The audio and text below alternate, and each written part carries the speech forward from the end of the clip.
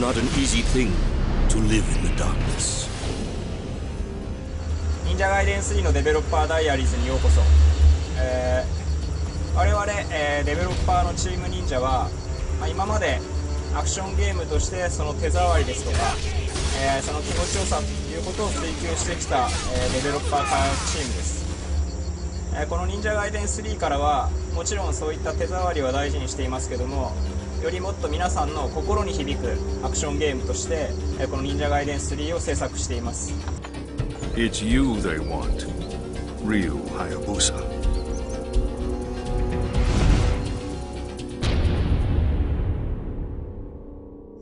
えー忍者ガイデンシリーズは、えー早く激しいアクションが売りのシリーズです、えー忍者ガイデン3では、えーより深い感情を描き、えーより重いアクションを、えー体験できる、えーものにするため、えーストーリーを、えーにこだわり、えーゲームを作成しています Do you know where the hostages are being held? No, we can't monitor anything inside the residence.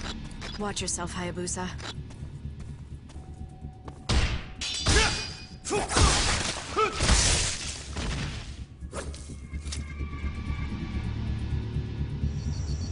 忍者ガイデン3では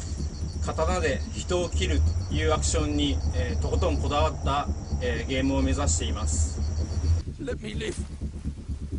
Not me, mate. Not me.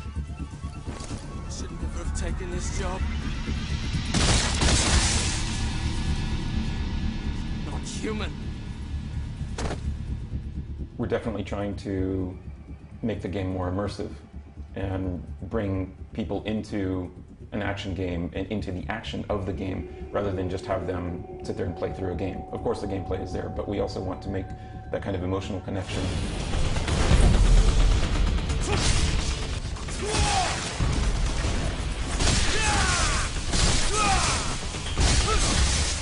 我々はこの忍者ガイデン3からチーム忍者としての我々のこれからの未来というものをアンマスクしていく予定です ぜひ皆さんこれからのチーム忍者にご注目ください。